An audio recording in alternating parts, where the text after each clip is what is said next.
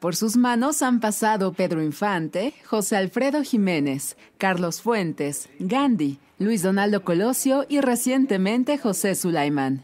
Durante más de 25 años, Ariel de la Peña ha inmortalizado a personajes de México y el mundo en bustos, rostros y esculturas. Después en el Museo de Cera en el 93, después de que se incendiara, hice la reconstrucción y la renovación de algunas figuras en esa época y esa fue como que mi academia de anatomía, en donde aprendí a utilizar las herramientas básicas para el desarrollo del modelado en plastilina. He tomado mascarillas, más de 30, a grandes personajes de nuestra historia en todos los ámbitos culturales, políticos, sociales, empresarios y y representantes de nuestra cultura como don José Sulaimán, por decirte uno muy reciente, Carlos Fuentes, las manos de Carlos Fuentes, eh, don Alejo Peralta, gran empresario y visionario, fundador del Politécnico Nacional, porque es muy difícil sobresalir,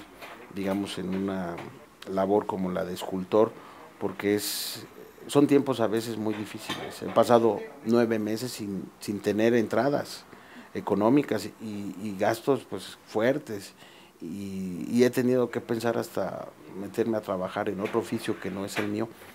Pero hay algo que, que está dentro de mí y que dice no tú sigue sigue sigue sigue Artista autodidacta, inició sus primeros tallados en mármol y madera en el estudio de Gabriel Ponzanelli, donde también fue ayudante en la transportación de obras a escala de un tamaño pequeño a monumental con información de Claudia Pacheco y Susana Cerezo e imágenes de Raúl Monroy. Notimex.